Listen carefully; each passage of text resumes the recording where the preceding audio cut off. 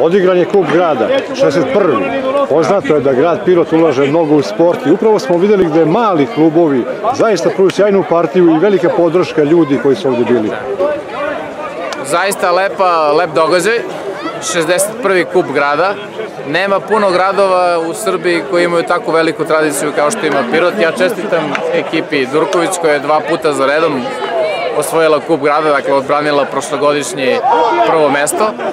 A s druge strane to je lepa, lepa vest da mesne zajednice po našem gradu se lepo organizuju, da se okupljaju oko futbolskih klubova, da imaju ideju kako da provode vreme, da se organizuju i da kao što vidite izdejstvuju pobede i da vidite, i sa druge strane možete da vidite veliku podršku sa tribina.